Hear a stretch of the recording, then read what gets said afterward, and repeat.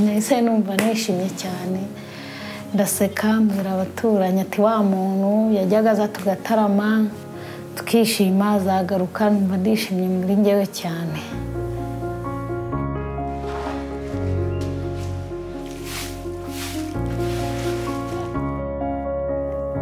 Jeg har tenkt masse på henne siden eh, jeg var her sist. Og jeg har faktisk eh, ikke trodd at jeg skulle få dra tilbake. Jeg ikke trodd at jeg noen gang skulle møte henne igjen. Så.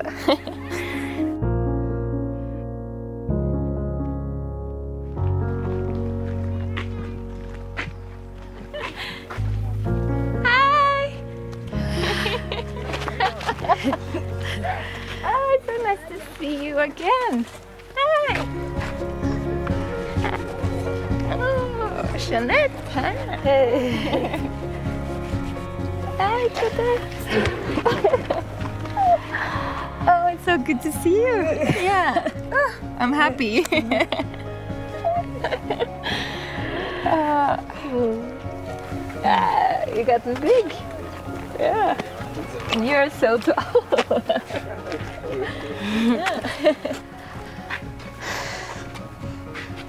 It's nice with the blue, blue color. The boys' room, yeah, and the girls.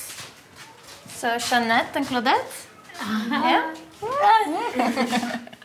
hey, and you're still shy, huh? yaramukumbuye cyane bavuga mariyoni mariyoni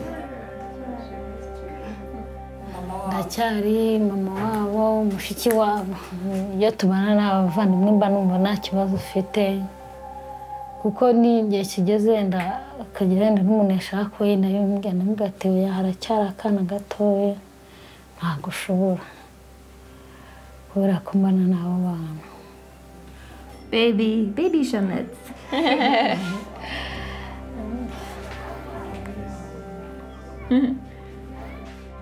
Claudette er en utrolig sterk jente. Hun var bare elleve år når foreldrene døde.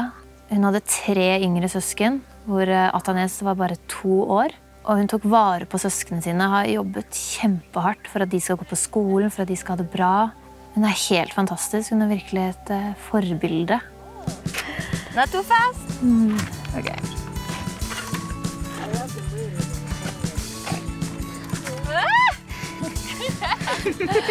on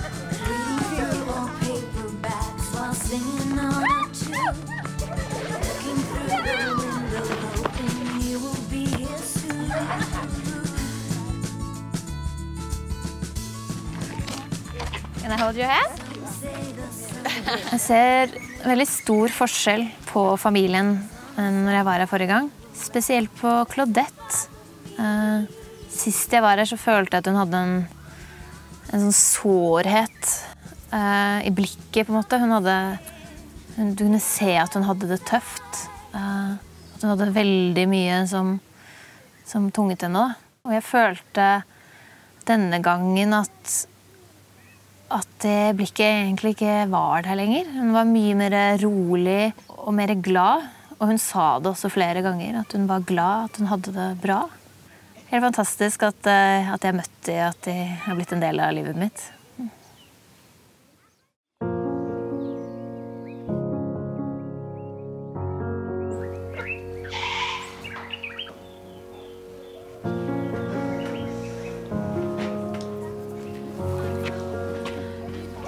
Good morning.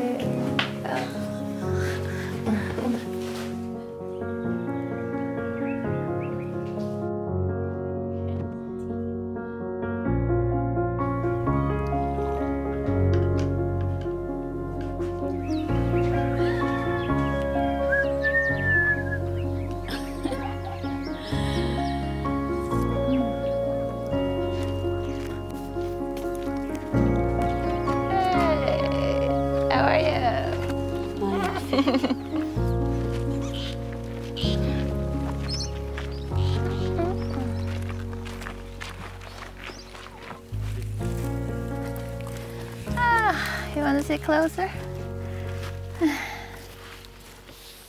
How was it to to be alone and, and have a two-year-old to look after? ubuzima nabayemo burakomeye cyane cyane n'ubu ngubu iyo mbyibutse mpita numva mbabaye cyane buriya igihe kimwe umuntu yigeze kumbaza arambwira ati ngubu umuntu azi ko ashaka kureba muntu gute nawe ati umbyara nawe hari ariko hari unyitaho aho umubyeyi atari ubundi haba hamuherereye nagushimira yuko ko wabaye umubyeyi mwiza imana yo mu ijuru izaguha umugisha mwinshi cyane